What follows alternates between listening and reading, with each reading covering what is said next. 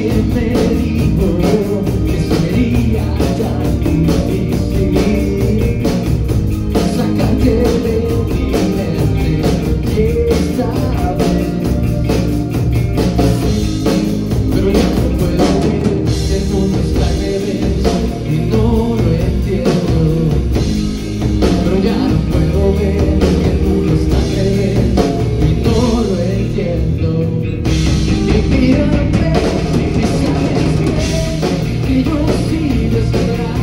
day.